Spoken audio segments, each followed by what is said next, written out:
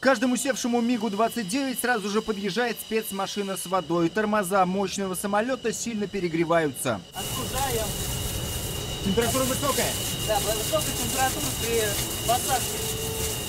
Надо остужать завод. Долетели хорошо, всю, весь маршрут, в принципе, погода была хорошая.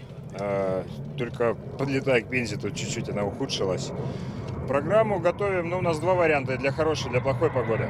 Будем надеяться, что погода будет хорошая. И приглашаем всех на просмотр нашей программы. Программа будет э, такая же, как мы показывали на Московском космическом салоне. Я думаю, что не все жители Пензы смогли там побывать, поэтому для них, я думаю, что будет интересно.